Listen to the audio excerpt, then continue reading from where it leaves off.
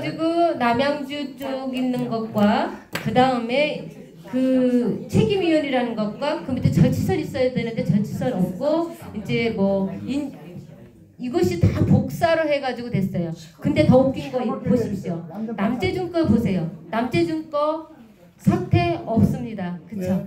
네. 그 전에 그렇게 만들어 놓은 거야. 네. 남재준 거가 사태가 없습니다. 남재준 사태가 없는 거 한번 보여주세요. 남재준 사태 예. 없습니다. 예, 맞습니다. 네. 엑스표가 없어요. 예. 예? 남재준 사태도 없어요. 그러면 경선에 있는 사태가 미리 다 만들어 안 해. 그러면 뭡니까? 우리가 남재준이 그 4월 문재인 29일 도장만 날. 사퇴했습니다. 그 남재준 씨가 4월 29일 사퇴했으면 그 이후에 이제 선거법에 의해서 인쇄를 하게 되어 있어요. 근데 이 민주당에서 손발이 안 맞은 거예요. 전국적으로 사기치다 보니까 손발이 안 맞아서 이거 칼라 복사를 했으면 손발이 좀 맞았을 텐데. 맞았습니다. 칼라 복사도 안 돼. 손발이 안 맞아서 흑색 복사로 막 집어넣은 거예요. 뻣뻣한 용지로. 원래 투표 용지가 또 접어서 나와야지 뻣뻣하게 이렇게 대량으로 나오면 불법이라고 합니다. 네, 안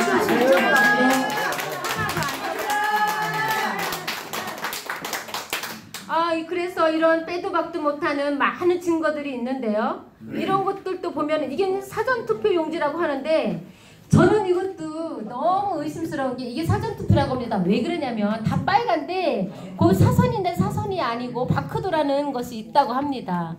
근데 그게 사, 그건 소문입니다. 제가 사전 투표에서 노트용으로 했고요. 절치선 끊어서 선관위에 넣었고요. 나머지는 제가 투표를 했습니다. 그러면 그것은 모든 투표는 사선에 끄서 거기도 한 장, 나도 한 장. 그리고 거기 100장, 여기 100장. 따로따로 보관한 게 딱 맞아야 되는 거예요. 네, 정확한. 선거죠. 맞습니다. 그런데 이거를 누가 한 줄 알아요? 대량으로 막 넣어가지고 예 이렇게 무더기로 나왔어요. 그러니까 이들이 문재인은 몇 프로 주기로 하고요. 그 다음에 홍준표 몇 프로 주기로 하고 또 심상정 몇 프로 주기로 하고 다 결정을 보고 다 그 결정의 스케줄에 따라 전국적으로 다 바꿔진 거예요. 이거는 한 지역만 바꿔치기 한 것이 아닙니다. 그렇지. 예. 대량으로 전국적으로 해서 전국적으로. 카카오톡이나 네이버나 뉴스에 거짓말을 합니다. 어떻게 거짓말? 첫 번째, 부직포 가방은 처음부터 있었다. 예, 카카오톡 보면 저보고 막 뭐라고 해요. 아니 왜 그걸 모르셨습니까? 왜 부직포가 처음부터 있었는데 그건 가짜가 아닙니다. 사기가 아닙니다. 법적으로 일단 선관위가 그거 제정을 처음부터 했습니다. 처음부터 왜 그렇게 합니까? 선거에서는 플라스틱으로 해서 정확하게 봉해서 갖고 와야 되는 거죠. 아무도 못 만져야 되는 거 아니겠습니까? 맞습니다. 맞습니다. 네. 그리고 두 번째 뭐예요? 절치선이 있어야 되는 건데 이거 바코드로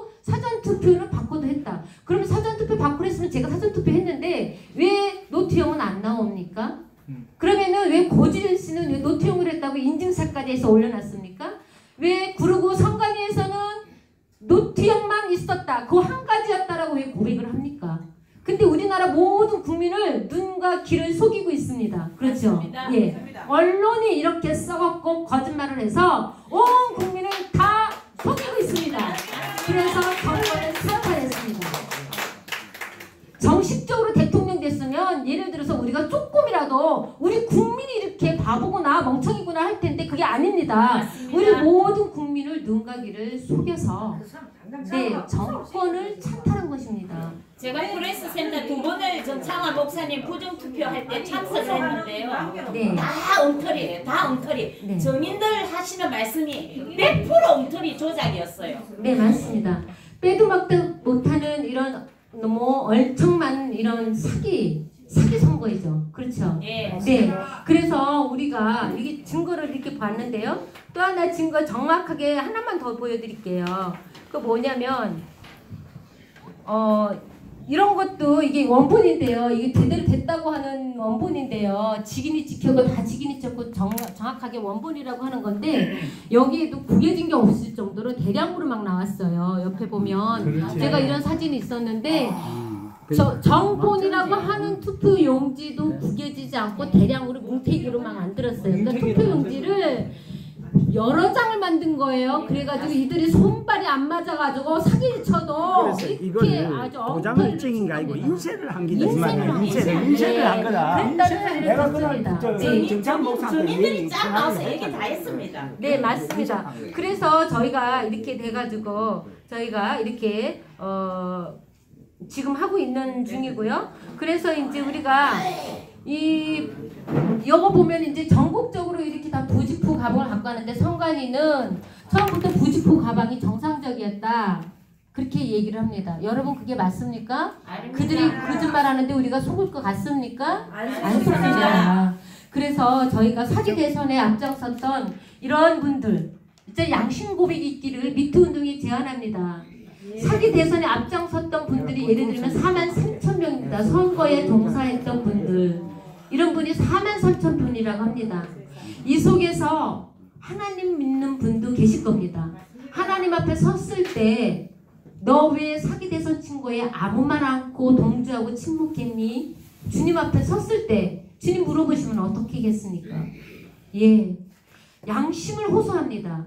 사기 대선에 이렇게 양심 고백 사기 대선에 참여했던 4만 3천 명 중에서 100명이라도 다만 몇십 명이라도 빨리 나와서 자진해서 양심 고백해 주시기를 간절히 바랍니다. 저희는 이 증거가 있기 때문에 이깁니다. 그쵸? 네. 이 정청화 목사님께서 선거 이 불법 선거를 소송을 했었어요. 이 소송에서 반드시 이길 것입니다. 그쵸? 네.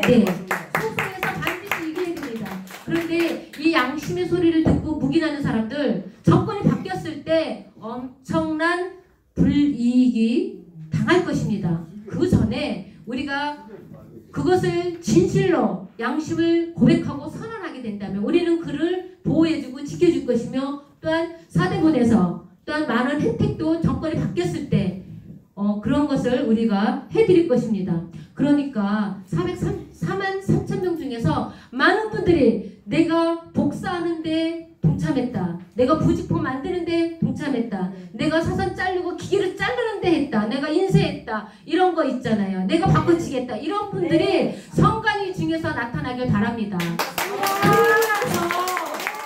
증언했잖아요. 그리고 성관위는 자기 노트형 밖에 없었다라고 증언한 녹음한 게 있습니다. 제가 가지고 있거든요. 그러니까 이 양심을 양심의 소리를 듣고 정말 용기를 내주셔서 정말 우리 많은 분들이 성관에 종사했던 뿐만 아니라 또그 인증상을 가지고 있으신 분들은 사대본 정청화 목사님, 김철양 감동 저기 어 이모님께 보내주셨으면 간, 감사하겠습니다. 저한테도 좀 보내주시고요. 그래서 저희가 이 눈과 귀를 좀 국민들을 열어서 유튜브로 또한 어, 카카오톡으로 또 많이 전달해서 이 재판에서 완전히 이길 수 있도록 그래서 지금 모든 투표용지가 다 폐기 처분된 게 아니고 보존되어 있어요. 재판에 걸려 있기 때문에 그래서 그거를 어떻게 하기를 원하냐면 이것을 빨리 우리가 다시 재검토하기를 원합니다. 재검토하면 우리는 100% 이깁니다. 알, 그렇죠? 재검토 안 해도 우리가 이깁니다. 증거가 다 있으니까요. 그런데 이 어, 재판에서 정말 이분들이 양심의 소리를 듣고 대법원에서 아버지 이런 곳에서 지금 이런 그 나라의 위기에서 정말 이 애국의 애국심으로서 이제 나라를 좀 살려야 되겠다 이런 분들이 많이 나왔으면 좋겠습니다. 네. 그래서 지금 63 선거는 절대 없어야 됩니다. 없어야 되는데 있어도 이렇게 다 사기를 칠 것입니다. 문재인이 있는 한, 그 사기 선거 관리인들 사기치는 사람들이 있는 한 우리가 선거 하나만 합니다. 그렇죠. 근데 선거 자체도 하면은 안 되겠습니다. 온 맞습니다. 국민이 일어나서 이것을 우리가 행동으로 태극기 들면서 막아냅시다. 네.